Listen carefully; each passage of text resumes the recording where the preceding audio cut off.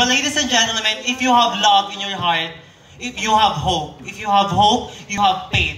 And you have faith, ladies and gentlemen, you have to pray. Taray. Killer funny question. So, basahin maigi, no pressure, no time limit. Yung naunang tatlo, tumumba na, dalawa natira. So,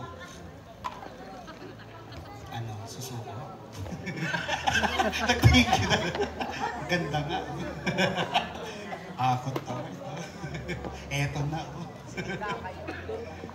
Kaya pa isa? Okay.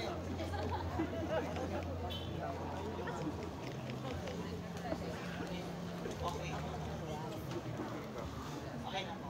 Apo.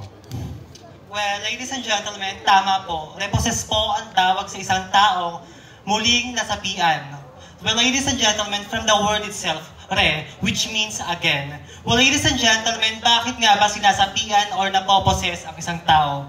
Well, um, may nakita po akong dalawang dahilan. Ito po ay hindi marunong silang manalangin sa ating kung may kapal or wala silang pananamantal pananampalataya sa ating Diyos.